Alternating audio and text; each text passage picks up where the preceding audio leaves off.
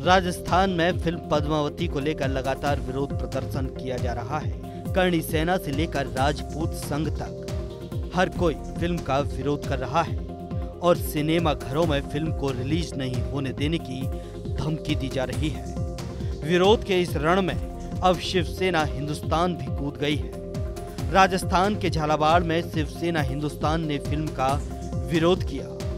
विरोध में फ़िल्म के पोस्टरों को जलाया गया।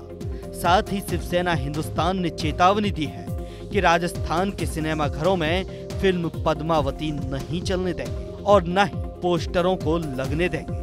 शिवसेना हिंदुस्तान ने मांग की है कि सेंसर बोर्ड संज्ञान लेकर फ़िल्म में पद्मावती के नाच वाले चित्रों को हटा दे। न्यूज़ इंडिया के लिए झालावाड़ से हेमराज शर्मा की रिपोर्ट। आप हमारे चैनल को YouTube पर सब्सक्राइब कर सकते हैं न्यूज़ इंडिया निम्स पर। इसके अलावा आप ट्विटर पर भी हमें न्यूज़ इंडिया 17 पर फॉलो कर सकते हैं। फेसबुक पर आप न्यूज़ इंडिया डॉट निम्स यूनाई पर हमें लाइक कर सकते हैं।